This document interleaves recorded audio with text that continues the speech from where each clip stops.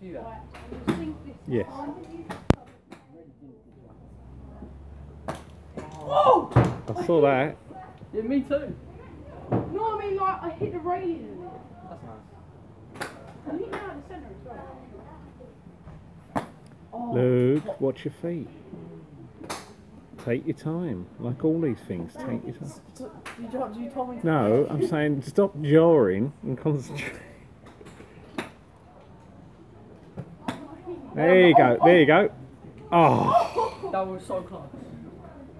I want to hit the iron first. So I Oh, mean, this is nightball. No. Ready? right, it's going in now. You're messing around. Is that my stance?